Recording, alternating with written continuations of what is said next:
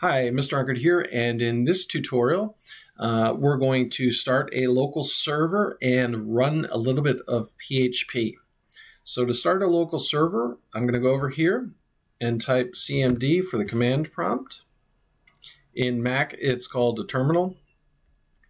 Uh, I'm going to open this up, and I'm going to type php hyphen capital S, then local host 4000 and hit enter.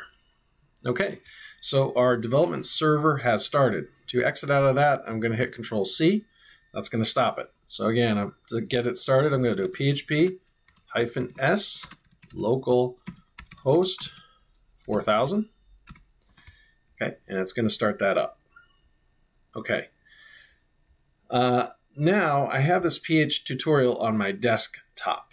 Okay, so we're going to have to keep that in mind once we create the PHP file to get the right path. Okay, so in this PHP tutorial folder, I'm going to create a new file. And instead of an index.html file, I'll do an index.php file. Now I'm in Atom, so to get a uh, HTML skeleton and PHP uh, incorporates into an HTML file very easily, I'm going to type HTML you have to label it a PHP file so the browser knows there's PHP in there. I'm going to type HTML and hit tab, and that's going to get me a basic HTML skeleton. So I might title this PHP tutorial. Okay.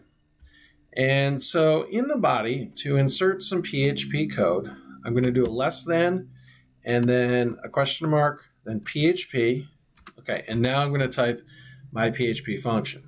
So to print something, I would type echo and then two quotes, and then I could say this is test PHP code. Okay, and then to end the PHP line, I have to have a semicolon.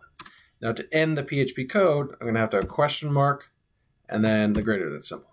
Okay, so I can hit Control S to save, and I can open my browser. Now remember, we started the server under localhost 4000. Now, if I just hit that, I get this. Okay, that's not what I want. So if you look in my terminal here, uh, you'll see that I'm under users and then Tunky, and then I have to go into my desktop. So I have to put a slash desktop, and you see I've done this already, slash, then the folder on the desktop, PHP tutorial, then slash index.php. Now, if you have this in your documents folder, you'd have the slash and then the documents, then whatever you call this folder, then your index.php file. I'm going to hit that and I see this is test PHP code, so I know it works. Now, with uh, PHP, you can write HTML. So I can write a paragraph tag in here and close out the paragraph tag. Now I haven't styled the paragraph tag at all. So all this is going to do when I refresh is just move it slightly down.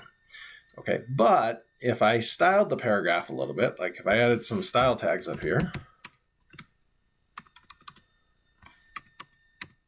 okay, and I just need a style tag, and I said P, and then a paragraph, and then I want uh, the font family to be Georgia with the backup of sans sans serif. Okay, and then the font size to be 1.2 em.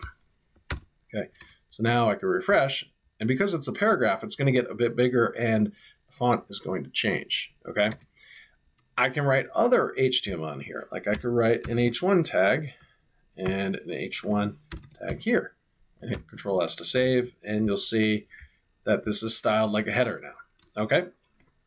So echo is one of the first PHP commands that you or functions that you want to learn, and um, it's not that interesting just yet because you could say, well, I could just have typed, you know, this tag in an HTML document and written the same thing. But the cool thing about PHP is you can make your website dynamic, and if you meet a certain amount of conditions, you might echo uh, a certain thing, and if you don't meet those conditions, you might echo something else or it might be even way more complex than that.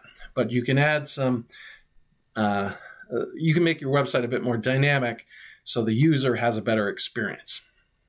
If you have any questions about this little entry into PHP, please leave comments in the comments below. Otherwise, thank you for watching and have a great day.